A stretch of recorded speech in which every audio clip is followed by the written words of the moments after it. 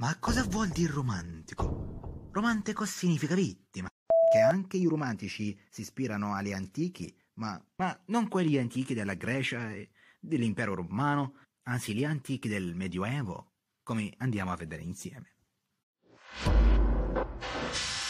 Il romanticismo è un movimento culturale e intellettuale, nasce per prima cosa nella Germania tra la fine del Settecento e la prima metà dell'Ottocento, per diffondersi in poi nella Francia e nell'Inghilterra.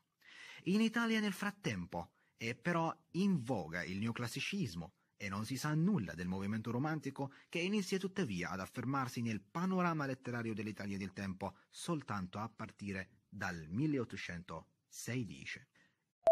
Il romanticismo inizia in Italia con la visione di Giovanni Verdi che la letteratura deve esprimere le esigenze dell'uomo e della nazione, soprattutto quelle della libertà e dell'indipendenza, cioè del tutto lontano dall'esalto dell'antichità e del tempo passato.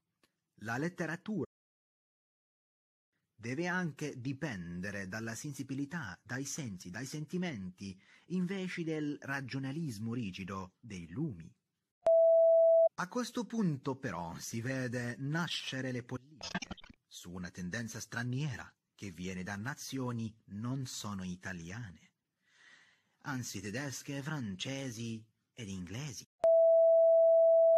Così pensano i classicisti del romanticismo, quel movimento che invita eh, al patriottismo, al senso eh, nazionalista, non gli pare difetto in grado di esprimere l'uomo né la nazione italiani. L'unico però che è capace di farlo è la tradizione classica e l'imitazione degli antichi, ovvero degli antichissimi, poiché anche i romantici si ispirano agli antichi, ma non quelli antichi della Grecia e dell'impero romano, anzi gli antichi del Medioevo. Romantico significa vittima. L'uomo romantico si sente sempre una vittima, vittima della vita, vittima di Dio anche, così per parlare. Come ha detto Giacomo Leopardi, il cieco destino, fato ingiusto, matrigna natura, cioè che non è buona madre, tutto ciò per esprimere il vittimismo romantico, ma anche il pessimismo.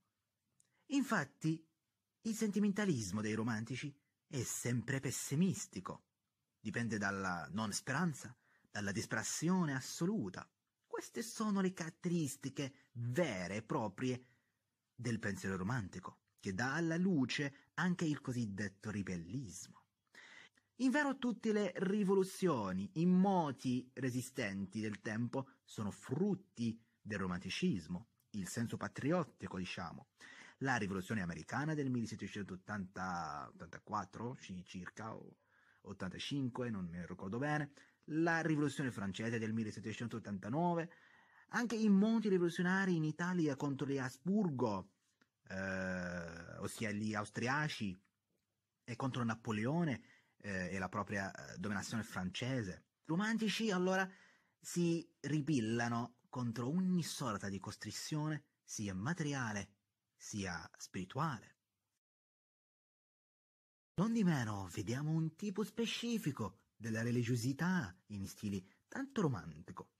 L'uomo romantico che sente la fragilità umana nei confronti della malvagità del mondo, eh, delle offese della vita, questo uomo gli bisogna anche sentire il bisogno di Dio stesso e della provvidenza divina, che aiutano gli uomini limitati, aiutano queste creature deboli a confrontare il male del fato. Mi sembra ciò un'idea molto tipica dell'antimonio di Leonardo Sciascia, se lo sapeste, in cui diceva la madre del, del protagonista, nelle pene Dio non ci entra, è il destino che ce le porta. A questa separazione tra Dio e il destino sono dati anche i romantici dalla loro sensualità pessimistica soprattutto dopo il decadimento del pensiero materialistico dei lumi e dopo il fallimento degli ideali eh, illuministici. Quindi ehm, da solo non si può affrontare la vita. E così, eh, diceva Manzoni, senza Dio il mondo non è che una foresta di belve. Tutto ciò, diciamo, fa ispirarsi i romantici al Medioevo. Perché il Medioevo? In particolare, si ispirano al tempo dove c'erano i primi stati nazionali, dove c'era l'unità cristiana dell'intera Europa. Grazie mille per guardare, grazie mille per ascoltare il uh, mio video.